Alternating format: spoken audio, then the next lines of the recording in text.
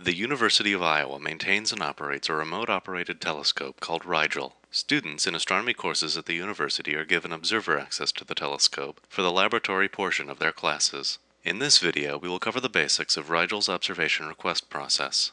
First, find the Iowa Robotic Observatory homepage. You can access this from the lab webpage. From here, you can find out more information about the telescope, see sample images taken by Rigel, check on the observatory's operational status, and of course, fill out an observation request. Go to the observation request page and scroll down until you see the fields for the request form. Use the observer code provided by your instructor and fill in the project title and names of your team members. You can instruct Rigel to use the catalog coordinates for an object, or manually enter a right ascension and declination. You can select which filters you want to use for your image and the exposure times for each. The L option will take an unfiltered image. Images taken with the red, green, and blue filters will filter out other wavelengths and can be used to produce color images.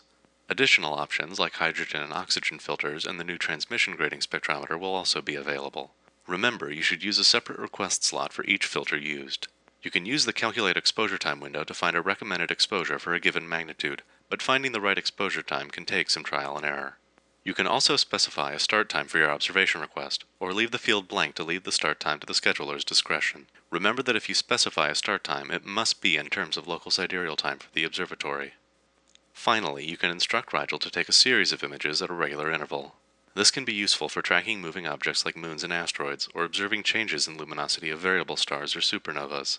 You can fill out up to five requests per observation code per night, once you have completed filing out your requests, scroll down to the bottom of the page and select Submit.